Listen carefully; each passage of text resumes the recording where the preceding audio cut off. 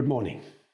The grace of our Lord Jesus Christ, the love of God, and the fellowship of the Holy Spirit be with you all. Amen. According to our earliest gospel, the Gospel of Mark, Jesus began his ministry at the Sea of Galilee. What brought him there? And why were the first disciples he recruited from the fishing industry? I'm reading from the first chapter of the Gospel of Mark.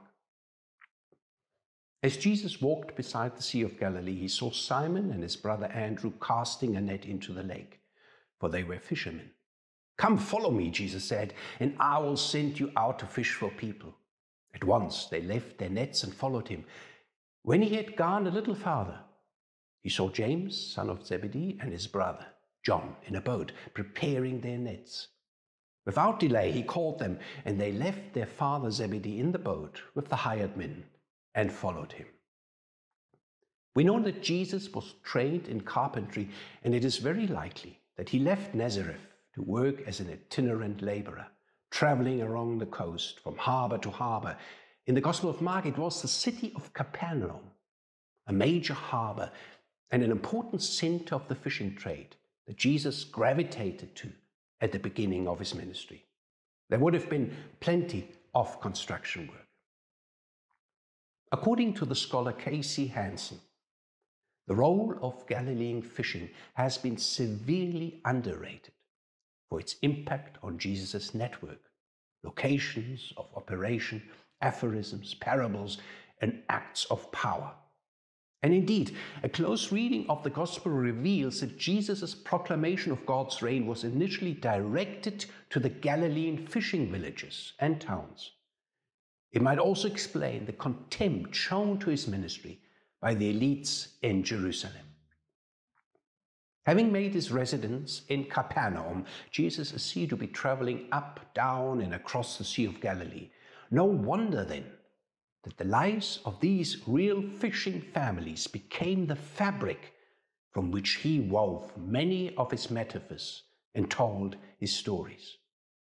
Think of the accounts that portray Jesus teaching at the shore or from the boat, calming the storm, feeding the 5,000, walking on the sea, and finally appearing to the disciples as the resurrected Christ back at the shore where it all began. Bread and fish were regarded as God's good gifts.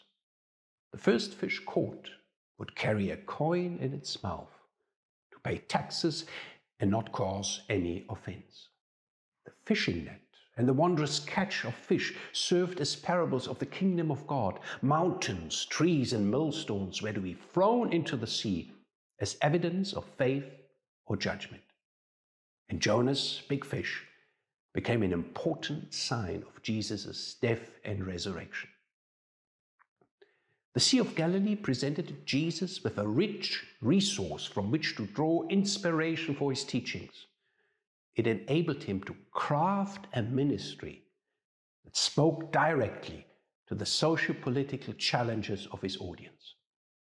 For along its shore, there were several villages which were all connected with the local fishing industry, which was the most important sector of Galilee's economy. During Jesus' ministry, the fishing industry was undergoing dramatic changes. Those changes began after Caesar Augustus' death in 14 Common Era, when Tiberius became the new Roman emperor. To gain his favor, the client king tetrarch of Galilee, Herod Antipas, initiated the building of a new capital city called Tiberias, situated right at the shores of the Sea of Galilee. This was Antipas' way of showing his loyalty to the new ruler in Rome. The building of Tiberias was to be part of a bigger process to bring the region under the authority and influence of Rome. The city was to become an administrative and military center, and Antipas built his royal palace there. it was very likely John the Baptist was beheaded right there. Ched Myers points out, and I quote, the primary function of the city was to regulate the fishing industry around the Sea of Galilee, putting it firmly under the control of Roman interests. Hanson highlights that fishing was an important part of the Galilean economy in the first century. But it was not the free enterprise which modern readers of the New Testament may imagine. Even those who may have owned their own boats were part of a state regulated elite profiting enterprise and a complex web of economic relationships. In fact, it is the political economy of the fishing industry around the Sea of Galilee that provided the matrix of oppression in Mark's Gospel. The fishing industry was increasingly restructured to supply the distant markets throughout the empire. In order to guarantee a steady export, the industry became state regulated, benefiting first of all the urban elite. Such state regulation was in the hands of Jews connected with the Herodian family, and in the hands of those Greeks or Romans who, in the wake of the military conquest, started to settle in Palestine. They controlled the sale of fishing leases. The brothers Simon and Andrew and the Zebedee family we are introduced to in the first chapter of Mark's Gospel must have been one of the local kinship based cooperatives to whom such fishing rights were awarded. Individuals were not granted such leases and therefore were not allowed to fish. Apart from having to pay for those leases, the cooperatives had to pay taxes on the processed fish products and incurred further loss of income by tolls levied on the transport of those products. Levi, the son of Alphaeus, mentioned early in Mark's Gospel, was one of the local administrators who handled those at times exorbitant leases, taxes, and tolls. We can see how this radical transformation of the local fishing economy led to the marginalization and impoverishment of formerly self sufficient fishing families. Fish, a dietary staple, was now extracted mainly for export and Fisher were far from classed as entrepreneurs, but found themselves at the bottom of the economic hierarchy. The Roman poet Cicero reveals the full extent of social contempt fishermen suffered when he notes And the most shameful occupations are those which cater to our sensual pleasures fish sellers, butchers, cooks, poultry raisers, and fishermen, as Terence says. The remnants of a first century fishing boat discovered in 1985 at the bottom of the Sea of Galilee reveals the extent of the hard life fishermen must have suffered. The boat had both oars and a sail and was made to carry up to 13 people. Archaeological research has shown that it must have been rebuilt at least five times, using seven different kinds of wood in the constant process of patching it up. It indicates what has been described as a cannibalization of other boats. In fact, this particular boat must have been deemed irreparable at some stage. But before it was discarded into the sea, all reusable material was removed. It is a remarkable artifact, most likely from the time of Jesus. It is symbolic of the hardship and poverty suffered by Jesus' first disciples. It should therefore not surprise us that, according to Mark, fishermen were Jesus' first converts. His alternative social vision must have spoken to their enormous plight. They had little to lose and must have been attracted to Jesus' radical critique of the status quo. The coastal city of Capernaum not far from Herod's capital city of Tiberias, became the place from where Jesus began to recruit his followers for a movement that would resist such exploitation and develop the vision for a more egalitarian society.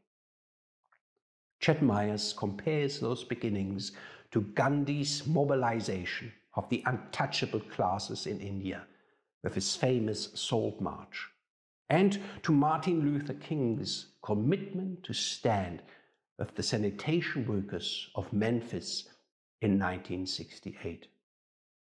The kingdom of God had arrived at the Sea of Galilee, and the sea with its shores, boats, and fish became the place where Jesus staged a peaceful revolt that continues to steer and inspire us.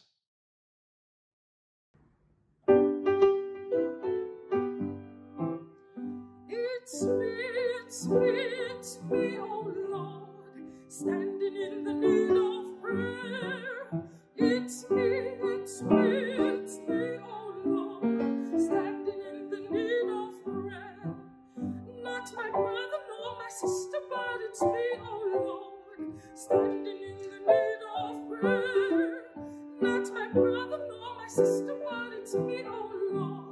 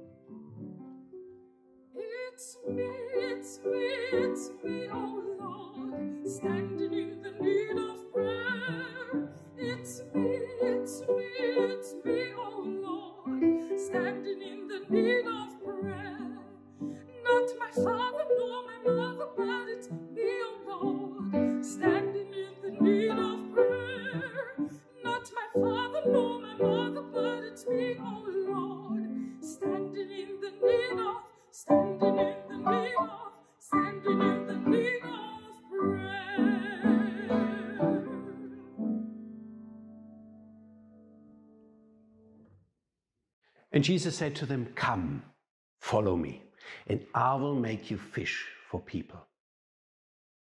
Traditionally, this saying of Jesus has been interpreted as a call to save souls. But Ched Myers warns us not to take the phrase out of context and to rather understand it within the social matrix we've discussed in the first part. What does it mean to leave one's nets and to fish for people in a context of economic exploitation? Since both John the Baptist and Jesus understood their ministry in continuity with Israel's prophetic tradition, it will be important to understand how the metaphor of fishing for people is used in no less than four prophetic oracles in the Hebrew Scriptures. In the book of Jeremiah, God's verdict on those whose idolatry has led to the neglect of the poor and destitute is biting. Fishermen and hunters are recruited to bring justice to the land.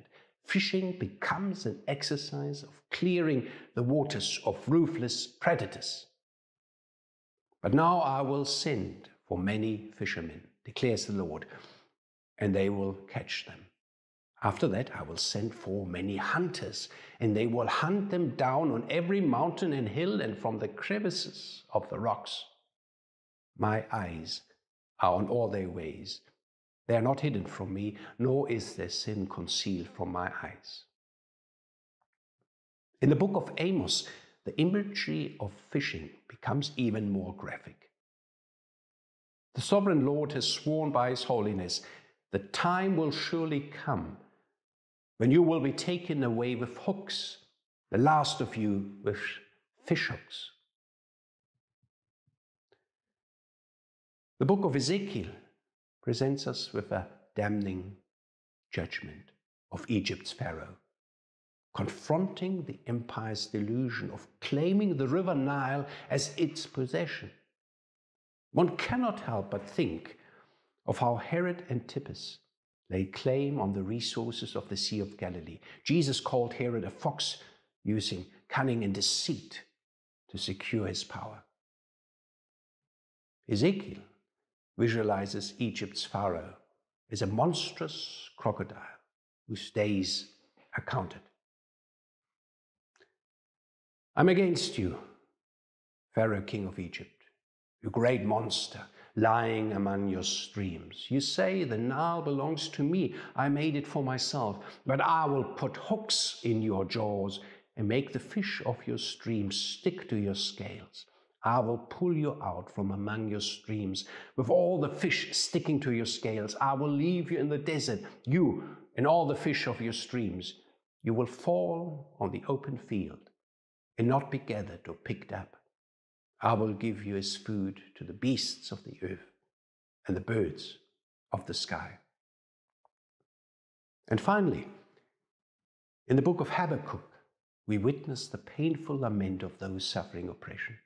We hear their heartfelt call for God to intervene and hold accountable those who use their nets for ruthless enrichment. This time, those suffering exploitation I imagine to be the very fish in the sea on which greedy and selfish rulers prey. You've made people like the fish in the sea, like the sea creatures that have no ruler. The wicked foe pulls all of them up with hooks. He catches them in his net. He gathers them up in his dragnet. And so he rejoices and is glad. Therefore he sacrifices to his net and burns incense to his dragnet. For by his net he lives in luxury and enjoys the choicest food. Is he to keep on emptying his net, destroying nations without mercy? Jesus' use of the metaphor of fishing for people is evocative, a provocation that creates a net of rich associations aimed at catching out those willing to sacrifice their livelihood of hard pressed fishermen and their families. The privatization of the Sea of Galilee's commonwealth has robbed people of their basic source of income. Jesus' intentional play of words allows the readers of the gospel to revisit their plight in the light of Israel's long history of oppression. The God Jesus has come to proclaim clearly identifies with their suffering. The prophetic writings make room for both lament and hope. Jesus taps into that ancient wisdom and embodies it for a new context. He summons his disciples to move beyond the role of powerless victims and to harness the power of Israel's prophetic vision of justice. Jesus' call to fish for people is far from innocent. It is about catching some big fish. It is not about saving people's souls from damnation, but rescuing those held in the grip of paralyzing economic uncertainty. It is extraordinary how Jesus begins his call to discipleship with nothing less than a clear message to those responsible for systemic injustice. God is on the way to catch you out and hold you accountable. And so Jesus mobilizes the wretched of the earth to raise their voice and confront the selfish and corrupt ambitions of the political elite. But such an enterprise is not without serious risks. Remember how John the Baptist exposed Herod Antipas for divorcing his wife and unlawfully taking the wife of his brother? Blowing the whistle on Herod and holding him accountable led to John's imprisonment and beheading. This was Herod's way of dealing with someone who was seen to sow seeds of rebellion and resistance to empire. Mark tells us that Simon and Andrew, James and John immediately left their nets and followed Jesus. Leaving their fishing business meant risking the economic security of their extended families. It was a bold step, without doubt, but also one of desperation, for what did they have to lose? Ched Myers is spot on when he interprets their decision as an uncompromising break with business as usual. It was a radical departure. The Greek verb aphiemi employed to describe such leave taking keeps returning in Mark's Gospel, connoting the release from debt and the forgiveness of sins. In each case, the verb is used to describe the liberation from bondage and the embrace of a new freedom.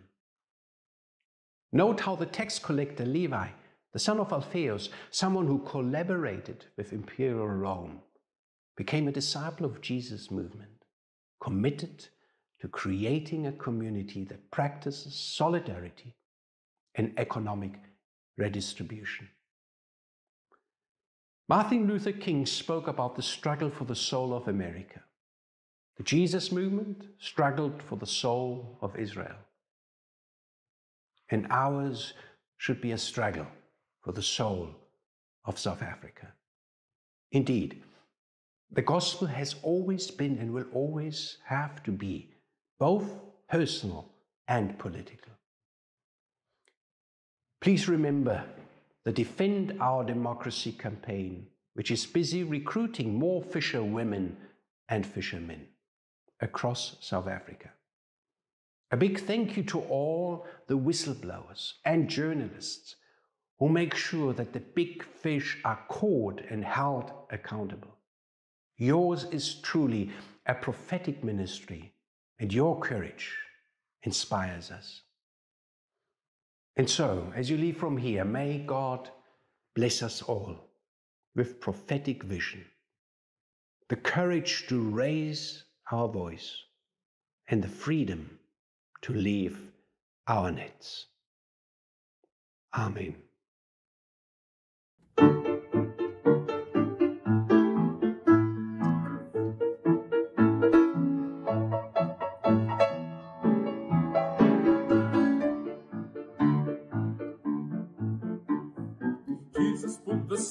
Into our hearts. Jesus put the song into our hearts. It's a song of joy no one can take away. Jesus put the song into our hearts. Jesus taught us how to live